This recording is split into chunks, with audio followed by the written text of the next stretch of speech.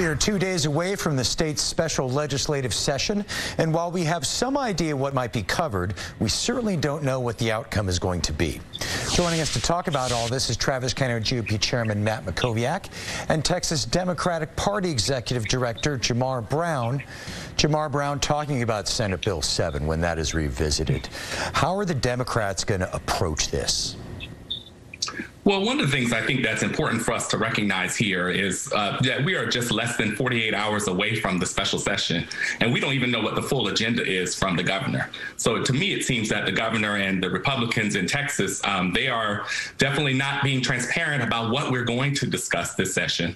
But what we saw when they did SB 7 earlier in the legislative session is how the Republicans in this state will continue to attack voters' rights, how they will continue to attack families, and also making sure that they're undercovering the damage until it's too late.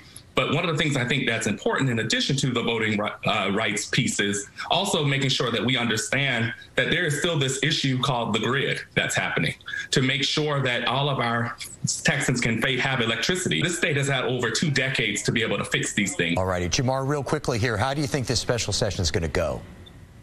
Well, one of the things I think that's important, again, as I mentioned, right, that we have not talked about how we're going to make sure that we're fixing the grid. That even in this legislative session, following hundreds of Texans dying, that there's not been enough reform to know that our power is reliable in the sweltering temperatures that we are facing just from this holiday weekend.